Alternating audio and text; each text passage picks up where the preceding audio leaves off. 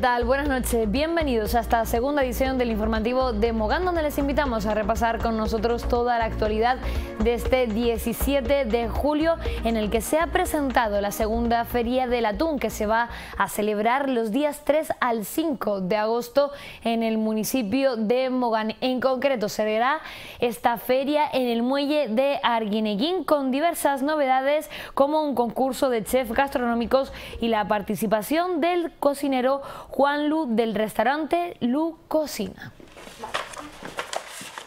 Aquí hay una muestra de la fusión de los diferentes ingredientes o de los diferentes productos que tenemos en el municipio de Mogán, de un alto valor, de una alta calidad que todos conocemos, desde la Feria del Aguacate de invierno-verano, la Feria del Mango, que próximamente también en septiembre, el primer fin de semana de septiembre, se celebrará en Playa de Mogán y la Feria del Atún, que se celebrará del 3 al 5.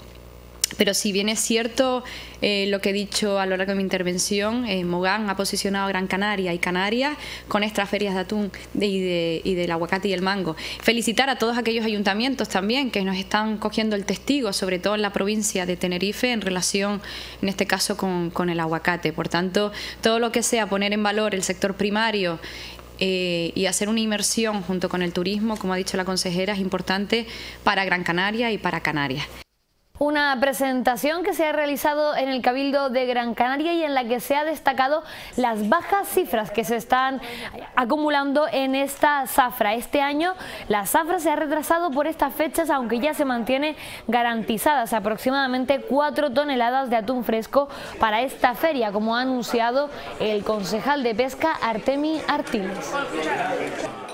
Las capturas de atún durante el ejercicio 2017, si los, representantes de las cofradías no me lo corrigen, estuvieron en torno a las 500 toneladas por toda la flota del municipio de Mogán. Lo que se llevó a la feria fue una muy pequeña de lo que es las capturas del atún. Un barco en un día ordinario, un barco de 6, 7 metros, 8 metros, puede traer o descargar en un buen día de pesca de 3 a 4 toneladas. Por lo tanto, los 3, 4 toneladas que vamos a tener en stock para la venta de, la Feria del Atún va a ser una cantidad que para una empresa dedicada al sector es pequeña, minúscula. Pero si lo enmarcamos, y por eso decíamos que es una mala zafra, dentro de las capturas globales, que como decíamos, solo la cofradía de pescadores de Arguineguín en el año 2017 superó las 500 toneladas de atún, ya sabemos que para esas economías es un mal año y la feria precisamente lo que pretende es valorizar las pequeñas capturas, las escasas capturas, para que esas, esos barcos, esas economías familiares puedan ver repercutida en el precio del producto y que puedan maximizar los beneficios en momentos de carencia como son los actuales. Esta segunda edición, como veíamos en las imágenes, tiene el apoyo de la institución insular que sigue apostando por dinamizar el sector primario como estrategia también para el turismo. Se sigue luchando por la cuota realmente que se tiene asignada permanentemente a, a las Islas Canarias a nivel nacional. La cuota eh, muy reducida que tiene ha sido siempre y permanentemente una actitud, eh, un elemento de reivindicación por parte del sector. Y estas eh, jornadas, jornadas festivas, lúdicas, gastronómicas, que tienen poner en valor toda la riqueza de la precisamente no solamente del atún, sino todos aquellos otros elementos de la zona que son, son compatibles con el mismo, sino también debe servir para esa permanente reivindicación del sector de mejorar no solamente sus condiciones, sino también la cantidad de posibilidades de captura en las Islas Canarias. Unas condiciones que hay que reivindicar ya que también benefician a este sector turístico porque cada vez son más los visitantes que se decantan por los productos con denominación de origen. El año pasado tuvimos cuatro millones y medio de turistas que visitaron Gran Canaria y un millón de ellos eh, manifestaron haber consumido algún, algún producto relacionado con, nuestros productos locales, alguna comida relacionada con los productos locales. Pero cada vez más están eh, demandando nuestra, eh, nuestra idiosincrasia, nuestra singularidad, nuestro, nuestro consumo local y eso es una de las cosas que, que tenemos que trabajar. El atún, como ha explicado el consejero, tiene pues una referencia excepcional en Gran Canaria, hasta la forma de capturarlo, no solo la artesanía, sino la cadena de frío que tiene el atún una vez capturado hace que sea de una excelente calidad, excepcional, ¿no? Y para los que saben realmente de lo que es el valor del atún, pues ponen a Gran Canaria como un lugar referente de cómo seguir, bueno, pues potenciando, valorando eh, un atún en exclusividad que tenemos nosotros en la isla de Gran Canaria. Serán tres días de esta segunda feria del atún en la que se podrán disfrutar de talleres, también de rutas gastronómicas, una noche de vinos y tapas y en fin, charlas y todo lo que tenga que ver relacionado con este pescado. Y como veníamos contándoles desde el principio del informativo, malos tiempos para la zafra. En estos últimos años se está hablando de la escasa zafra que se está viviendo a lo largo de este año, pudiendo alcanzar el peor número registrado desde hace 10 10 años. Una situación que alarma a la corporación municipal que han pedido al gobierno autonómico que tome medidas para averiguar qué está produciendo esta bajada en el número total de túnidos barcos que están pescando en, aguas están entorpeciendo precisamente el que, bueno, prácticamente están capturando la mayoría de los túnidos que pasan por ahí, perjudicando a la, flota artesanal de Canarias. Pero es algo que he dicho hoy en, los medios de comunicación, es decir, esto es algo que siempre venimos reivindicando y ya lo dijo el consejero en relación a la cuota que nos toca a Canarias, que siempre se ve restringida dentro de las negociaciones del Gobierno de España con, con la Unión Europea y que bueno que beneficia a otras comunidades autónomas y nos perjudica a nosotros que como bien se ha dicho beneficia a más de 300 familias en Canarias respetando siendo respetuoso con la pesca artesanal eh, y con, la, con, con, lo que es el medio ambiente con lo que es el ecosistema ¿no? Y ayer se vivía esa procesión terrestre que se lleva realizando desde hace tres años y que también ponía punto y final a las fiestas del Carmen en Arguineguín, con una procesión terrestre que reunía a más de 6.000 fieles que quisieron despedir a la imagen de la Virgen del Carmen. Un tercer año en el que se celebró una Eucaristía que inició el programa de actos a la que siguió la procesión terrestre con la imagen de la Virgen fue portada por los propios marineros de la cofradía de Arguineguín por las calles de la localidad hasta la playa de las Marañuelas, con la presencia también de la Corporación Municipal.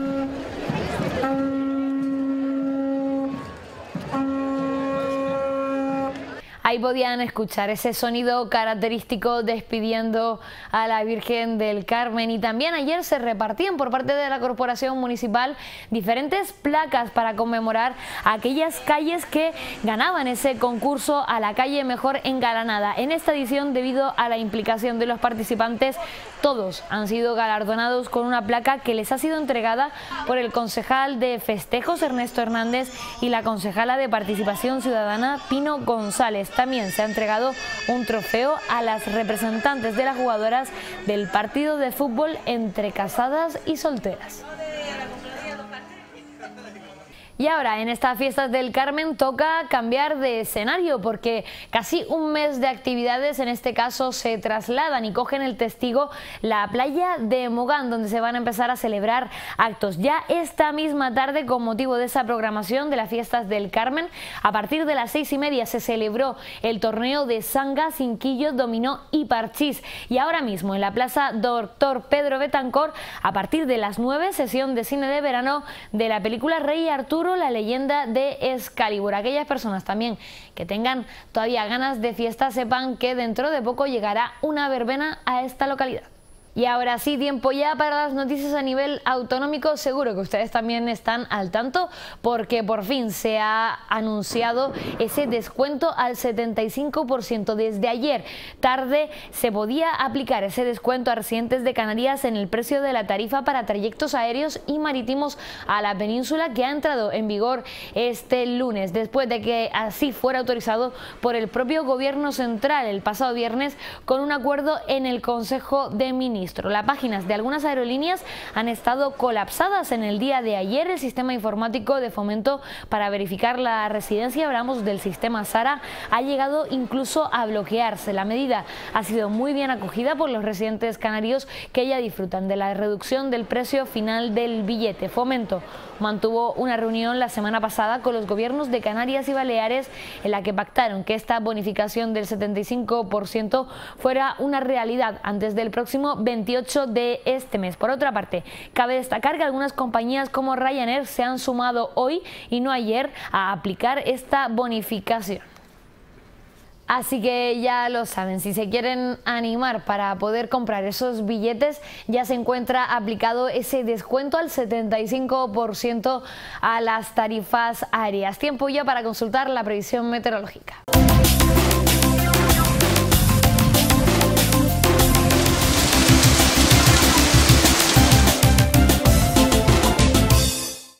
Las islas más orientales, predominio de poco nuboso despejado, excepto intervalos nubosos en el norte de Lanzarote, en litorales norte de las islas de mayor relieve, nuboso abriéndose claros por la tarde. En el resto, poco nuboso a despejado, Calima en la provincia de Las Palmas e isla de Tenerife, temperaturas con pocos cambios o en ligero ascenso. Y en Gran Canaria, en el litoral nordeste, por debajo de unos 800 metros, nuboso abriéndose algunos claros por la tarde. En el resto, poco nuboso despejado. Calima, más acusada en zonas altas. Temperaturas mínimas con pocos cambios o en ligero ascenso en el interior y máximas en ligero ascenso en costas y más acusado en el interior. Viento del nordeste con intervalos de fuerte. Las rachas podrán superar ocasionalmente los 60 kilómetros por hora. Y la predicción meteorológica para este miércoles 18 de julio en el municipio de Mogán nos deja temperaturas mínimas de 19 grados, máximas de 31. Los cielos estarán totalmente despejados y no habrá probabilidad de precipitaciones.